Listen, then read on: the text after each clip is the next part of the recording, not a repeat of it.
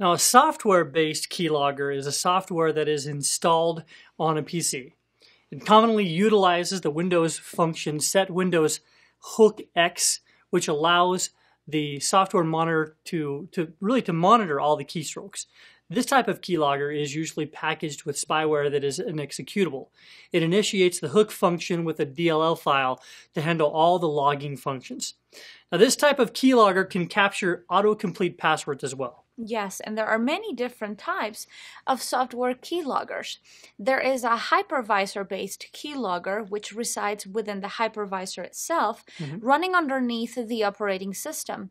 An example of a hypervisor is VMware's ESXi product or Microsoft Hyper-V. There are also kernel-based software keyloggers. In this case, the software will get access to the operating system via the highest privileged user, such as a root, and then it will hide itself in the operating system so that it's not detectable. Now, another type of software-based keylogger is an API. API is short for Application Programming mm-hmm. Interface. API makes it possible for a device, such as a keyboard, to communicate with an application. Now, these keyloggers can make the use of the keyboard APIs running inside of the application. Now, one of the more dangerous uh, API-based keyloggers can record pins used for authentication via BIOS. So now a hacker knows the key that is needed to power on and make use of your PC. Yes, and a form grab grabbing keylogger is designed to simply grab data from a form.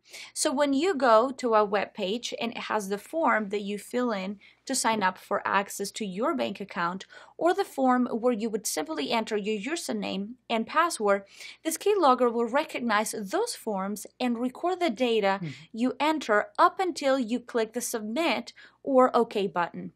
This one is very dangerous because it isn't capturing everything that you type, making it easy for a hacker to steal only the important usernames and passwords that you utilize on a daily basis. That's right.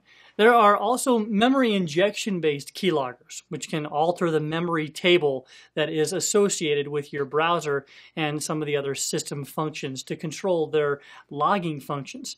Now, what they'll do is they'll patch your memory table or inject data directly into the memory, which can allow the hacker to bypass the Windows user account control.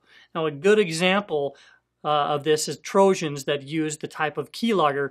This would be something like if, you've heard of Zeus and SpyEye. Mm-hmm.